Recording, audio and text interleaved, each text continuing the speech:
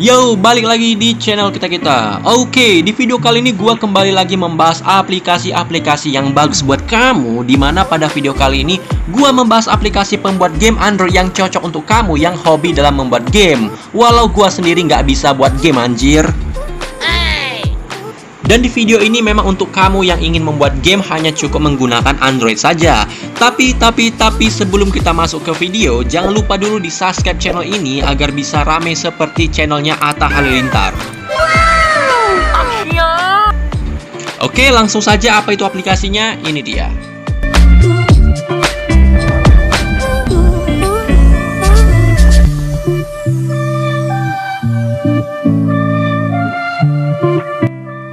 Spin Action Creator.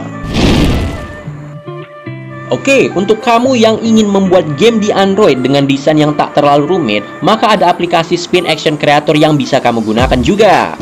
Di mana Spin Action Creator ini kamu dapat membuat game 2D maupun 3D.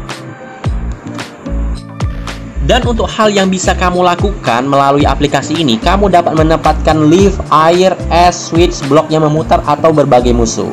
Dan tentu saja ada banyak musik di dalam aplikasi ini. Dan yang asiknya, melalui aplikasi Spin Action Creator ini, kamu tidak perlu lagi memikirkan kode pemrograman dalam membuat game.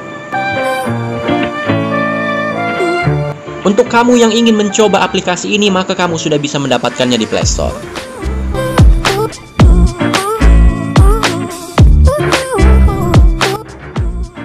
Pocket Code Pocket Code adalah sebuah aplikasi yang dapat membantu kamu dalam membuat game di Android. Di mana Pocket Code ini kamu mengandalkan desain pixel art dalam membuat game dan kamu bisa membuat berbagai macam jenis game melalui aplikasi ini. Pocket Code ini memungkinkan kamu untuk membuat, mengedit, mengeksekusi, berbagi, dan juga melakukan remix program-program Katrobat secara visual lingkungan pemrograman. Sehingga dengan Pocket Code ini akan mempermudah kamu dalam membuat game Android, baik kamu yang tidak mempunyai PC sama sekali.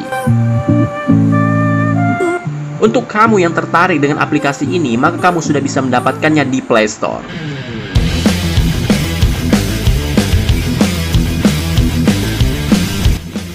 Physic Action Puzzle Game Creator.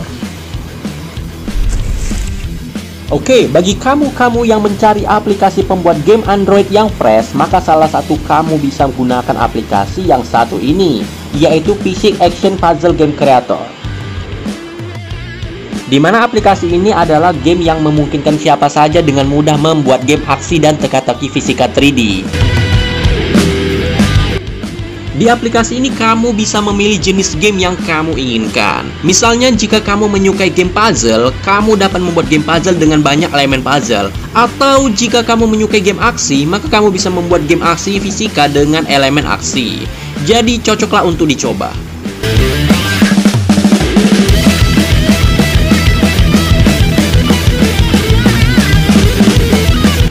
CVN 2 CVN2 ini adalah aplikasi pembuat game Android yang berfokus pada pembuatan game visual novel, di mana di dalam aplikasi ini kamu dapat membuat game visual novel melalui Android. Untuk aplikasi ini mendukung banyak bahasa, salah satunya terdapat bahasa Inggrisnya. Dan untuk fitur yang dimiliki dalam aplikasi ini, kamu dapat mengedit seperti PowerPoint untuk memasukkan teks, grafik, dan suara dan kamu bisa pilih di antara berbagai perilaku seperti narasi dan dialog, pilihan ganda, pernyataan, dan lainnya yang menghubungkan kedua aliran interaksi secara visual.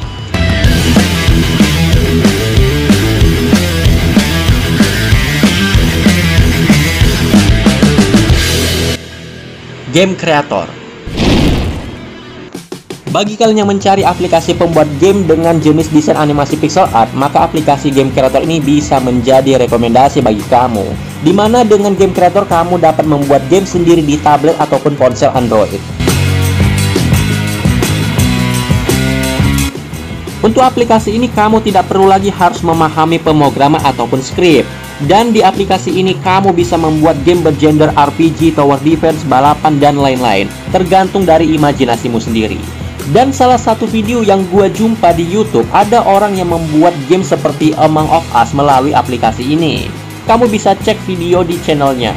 Banyak banget kreasi game yang bisa dibuat lewat aplikasi game creator ini. Untuk kamu yang tertarik, kamu sudah bisa mendapatkannya di Play Store.